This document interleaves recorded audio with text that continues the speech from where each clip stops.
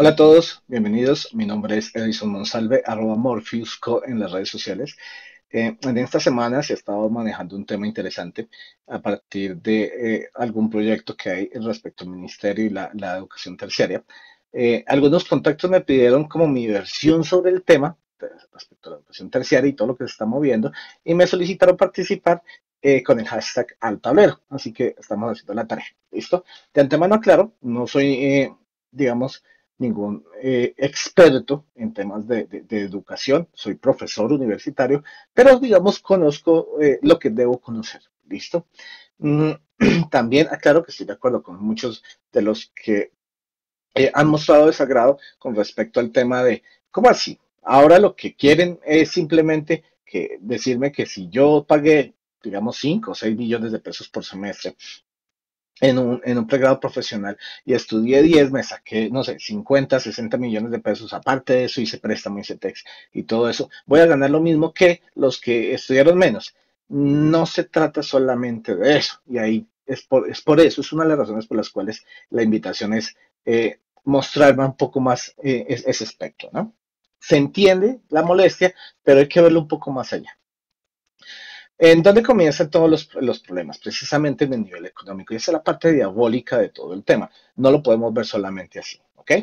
Ahora, mm, de acuerdo al ministerio, el pregrado, eh, ustedes pueden revisar, digamos, la página web de, oficial del Ministerio de Educación.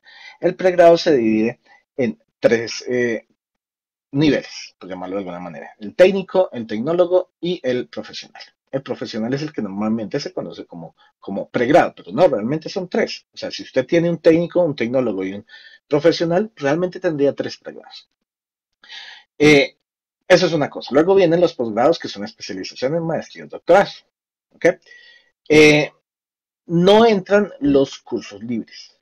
Es decir, donde ustedes van, hacen, eh, no sé, un curso de 20 a 30 horas y obtienen un certificado de asistencia. Eso, eso es otro tipo de eh, educación. ¿Listo? Salvo algunos casos específicos como competencia. Por ejemplo, digamos que usted hace un curso para aprender a, pintar eh, círculos, así que después de, eso puede que usted no cumpla con toda la intensidad horaria, pero se aprendió a hacer círculos, digamos, le valía la competencia. Eso es otro cuento. ¿Listo? Eso normalmente se conoce también como, como, como, educación continuada o educación extendida, en fin. Tenemos también otros que son como más o menos del mismo nivel, que son los que podemos realizar en un MOOC eh, o por ejemplo, como los que se realizan en DevCode, SoloLearn, que recientemente hicimos una actividad con unos estudiantes, Platzi University, donde no importaría inclusive si usted no consume todos los videos, ¿sí? O sea, si tienen 200 videos y usted eh, sacó, eh, vio 10, pues no importaría. Ahí tampoco hay, hay un certificado de asistencia, pero normalmente tienen, digamos, como un examen o una cantidad de actividades usted cumple esas actividades, ok, se le da un certificado de que cumplió con esas actividades. Ahora, ese certificado es tan válido como la entidad que lo expide. Es decir, si lo da Pepito Pérez, de pronto no es lo mismo que diga que Pepito Pérez eh, certifica de eso salve que sea HTML, así de pronto lo, está diciendo, qué sé yo, eh, Next University, Platzi, Solorin, DevCode, Miriada, eh, en fin, cualquiera de esos. Y tampoco es igual a los MOOC que son entregados por universidades. En los MOOC entregados por universidades normalmente no solo tienes que entregar una serie de actividades, da igual a la hora que te conectes, da igual si consumes o no, pero al final, digamos, te pueden decir, ok, si pagas esto, eh, te entregamos el, certificado. Y es un curso tan válido, o sea, yo puedo estudiar robótica en el MIT si tengo la, oportunidad de pagar esos certificados. Pero si no tengo la oportunidad de pagar esos certificados, igual lo puedo hacer. Y eso es parte de lo interesante en todo esto. Ahora que si tendría validez, claro que sí. No en todos los casos. Ya hay otro punto, ¿no? Y por otro lado están las certificaciones internacionales, que son exámenes que valían tu conocimiento, listo, pero esos exámenes están creados directamente por el fabricante, normalmente, y administrados por una entidad de certificación. Por ejemplo, digamos que existe el examen de Adobe Photoshop, ¿listo? Y es administrado por los centros Prometric, Certiport y otras cosas, ¿ok? Entonces, ¿uno qué hace? Uno llega y paga un voucher, ¿listo? Entra a una de esas entidades de certificación de, las administradoras, le dice, ok, he programado un examen para este día, usted lo programa en tal día, usted se sienta, hace el examen en línea, es verificado, de hecho, por una persona para evitar fraude y todo ese, tipo de cosas, y si lo logra, enseguida la entidad de certificación, es decir, puede ser Prometric, puede ser... Eh, le pueda imprimir ese certificado que le ha entregado el fabricante. Por ejemplo, si yo acabo de pasar el de Photoshop, pues voy a tener el certificado Adobe de Photoshop. También, digamos que es claro que no es lo mismo que yo diga, no, yo sí sé harto, qué sé yo, de Excel, ¿listo? O yo sé harto de Word. Pero si Microsoft me certifica que yo evidentemente conozco Word, ¿Listo? Aparte de eso, que es un certificado que es internacional, es válido en más de 150 países y todo eso. Da igual si yo soy ingeniero aquí, si me voy para otro país, de pronto no soy ingeniero. ¿ok? En cambio, las certificaciones, si yo la certifico aquí, me voy para otro país, ahí sí que tiene, tiene validez. Entonces también son mercados diferentes. Ahora, si Microsoft dice que usted sabe Word Core o nivel experto, porque también hay niveles, mucho mejor. Eso es otro cuento. E incluso en, las, en, algunos eh, carreras, digamos, de, certificación, se llaman tracks de certificación, es posible que usted tenga que presentar varios exámenes para alcanzar una sola certificación, o inclusive que esa certificación sea parte de otros tracks. Es así, digamos, de, interesante toda la opción, ¿no? Finalmente, gracias a todo lo que tiene que ver Internet, yo podría aprender eh, un lenguaje de programación que quiera o una competencia que quiera gracias a YouTube. Y en una cantidad de links, entendiendo que no todos son igual de válidos, igual de interesantes, o igual de eh, certeros, ¿ok?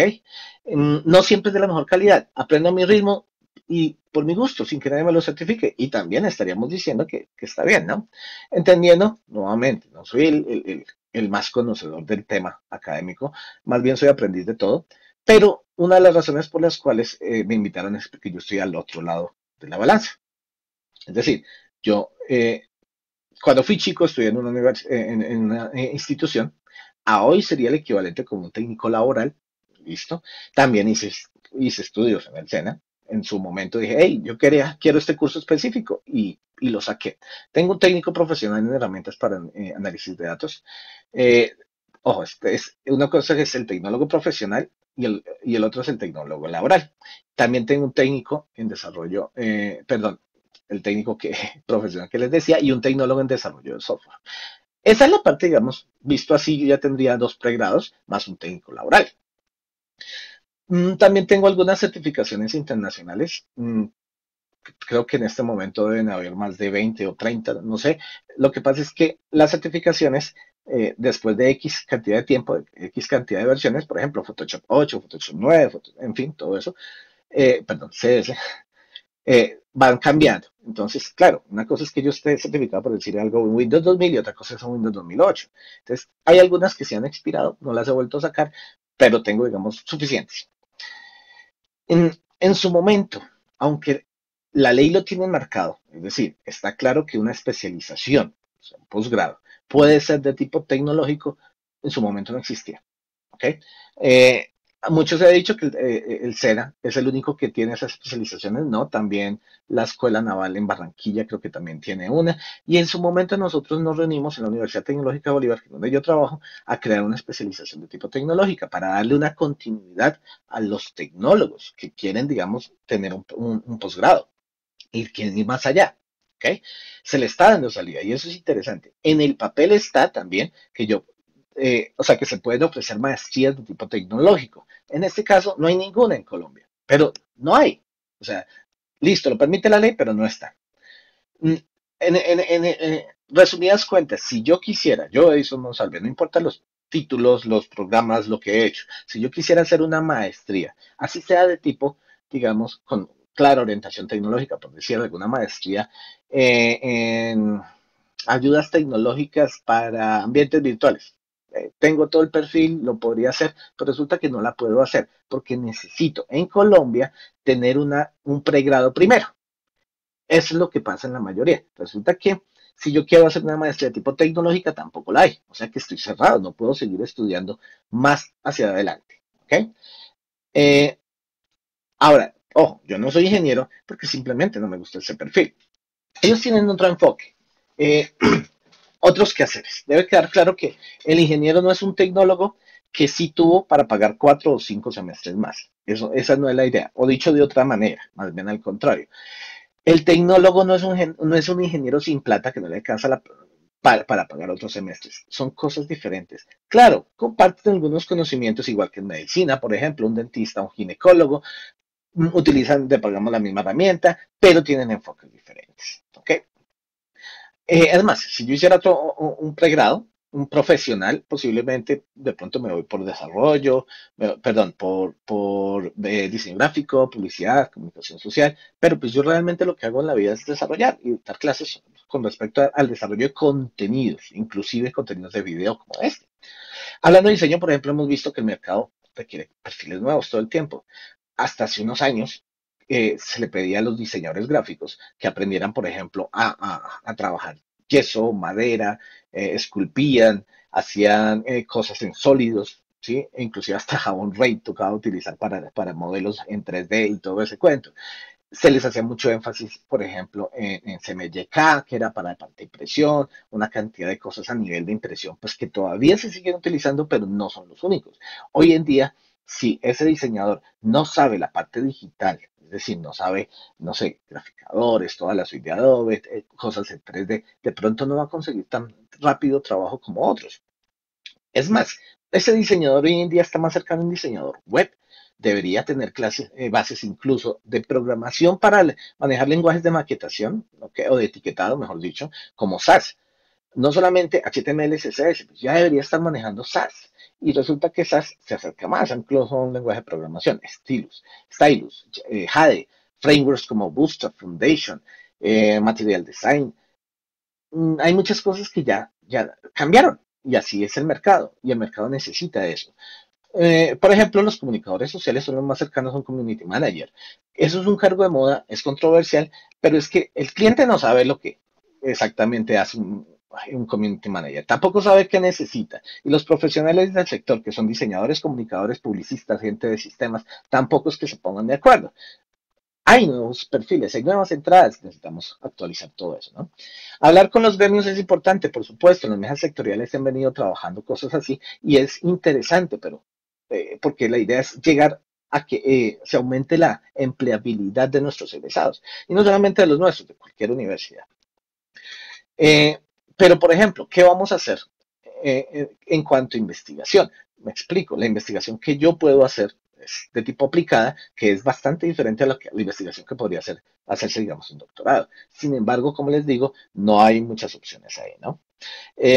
ahora, también es cierto que nosotros vamos a, la universidad a aprender, universidad es universo, ¿no? Aprender respecto al universo, no solamente las materias específicas. Si yo quiero aprender, voy a decir algo aquí, WordPress 2.1 y en el SENA me lo están dando, pues voy al SENA y aprendo WordPress 2.1. ¿ok? Si yo lo quiero es algo mucho más complejo, mucho más completo, universidad, insisto, es universo. Allá, allá voy. Eh, y también están las materias específicas y las del sello. ¿sí? Por ejemplo, en la Universidad Tecnológica se ve mucho emprendimiento, así que ahí vamos a tener materias de emprendimiento.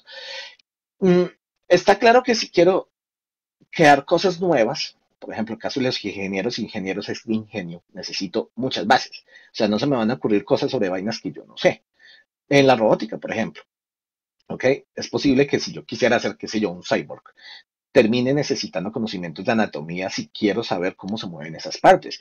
Y un ingeniero no sabe mucho de anatomía. Así que si, si les da, pues chévere. En ese mismo sentido hay muchas cosas que muchos ven como, como relleno, como química, un ingeniero viendo química dice, no, pero ¿para qué? Pero ahí está el punto en qué es lo que usted quiere que eh, aprender, ¿no? Digamos una cosa específica como para, vamos a hablar de Flash, que ya no se usa, pues si yo quiero aprender a crear un juego en Flash, pues no me meto a estudiar ingeniería de sistemas. Ese no sería el camino. Usted es el primero equivocado si lo hace así, ¿no? O sea que si yo lo que aprendí, aprendí lo que quise lo hice en la universidad, entonces la plata no se pierde. Podrías aprender algo específico, lo podrías haber hecho en tu casa de YouTube, ¿listo? Pero pues posiblemente también te frustres, porque si otra persona quería aprender a programar y pagó 60 millones de pesos, pues seguiría frustrado igual, no tendría ética, no tendría muchas cosas de, de las que sí le van a dar en la universidad, listo, y estarías igual de frustrado con o sin esta ley. ¿Ok? Mm, si a mí, si yo pago por un curso de mm, cómo aclarar puntillas y me imparten eso específicamente, genial, pero no voy a, no me van a dar ética de la puntilla o de ética de cómo se deberían clavar. No va a estar nada de fracturas de materiales, por lo menos no voy a ver costos, optimización de costos de pronto no, y por ende hacer innovación sobre eso de pronto no lo voy a poder lograr hacer. Por eso es más fácil hacer innovación en después de pregrado profesional, ¿no? ¿Qué pasa con el mercado? Pues eh, afortunadamente en la vida tengo eh, coordino un programa de tecnología de desarrollo de software, escucho varias solicitadas, solicitudes como, eh, hermano, me aprobaron 3 millones de sueldo para, para el proyecto. ¿Listo? Necesito contratar un ingeniero de sistemas. O si quiere, hagamos algo. Mejor contratemos a dos tecnólogos. O por qué no tres eh, técnicos. Y uno queda así como así. O sea, ¿qué es lo que usted necesita para el proyecto? Porque de entrada, o sea, de entrada, según el pensamiento de esa persona, es claro que el sueldo es el que le determina el perfil y no la necesidad. Ahí hay un problema grave. Existen tablas, por supuesto. Eh, por ejemplo, en Medellín hay un proyecto muy interesante en donde eh, muchas empresas se están aliando para tener una tabla y basado en el nivel académico, la experiencia, si es bilingüe, en fin, todo eso, tener un sueldo base. Y eso es muy chévere. Inclusive en muchas veces en la misma academia tampoco se paga bien porque pues es que por eso eh, entendemos que no todos los estudiantes o, no todos los jóvenes quieran ser profesores. Cuando difícilmente ganas más que un profesional del sector y estás haciendo esto, posiblemente no te interese. Hay otros países en donde pueden ganar cinco y seis veces más porque son los que forman. Pero bueno, eso es otro, otro cuento, ¿no? Luego también está, por ejemplo, eh, alianzas como las tablas Agora, que son una cosa interesante porque me dan un promedio, las pueden buscar, eh, sobre piezas de diseño gráfico, comunicación, publicidad, y me dicen más o menos cuánto debería cobrar si yo no lo sé hacer, ¿no? Entonces, así que podría ser interesante también esa parte, ¿no? Pero no se, o sea, como que el mercado quiere simplemente es pagar menos y volvemos nuevamente al asunto de que terminan poniéndolo en temas, en temas económicos y ahí nos fregamos. Además, están pidiendo cada vez más títulos para hacer cosas que realmente no, se, no requieren esos títulos, ¿no? Eh, bueno, ¿qué pasa? Vamos a cambiar el, chip, ¿listo? Vamos a pasarnos al otro lado de la moneda. Digamos que usted tiene un trabajador que hizo tres carreras no sé, hizo diseño gráfico, hizo comunicación social e hizo publicidad. Le gustaron los tres pregrados profesionales. ¿Debería cobrar el, triple de lo que cobran sus compañeros? Sabiendo que usted lo tiene, digamos, qué sé yo, voy a ser más, más fracturante. Eh, digamos que usted lo tiene atendiendo un call center. ¿Esa persona debería cobrar tres veces porque hizo tres pregrados? Mirámoslo en términos de certificaciones. ¿Listo? La certificación lo que permite es que diga, ah, por ejemplo, Adobe Edison si sabe Photoshop y entonces puede cobrar un poco más y es muy chévere.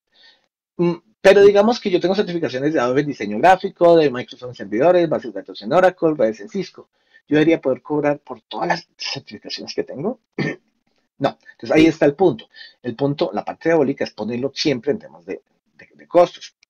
Porque tal vez el enfoque en este caso sería que si yo tengo tres plegados o tengo cuatro líneas de certificación, pues tengo más campos de acción en los cuales yo puedo trabajar.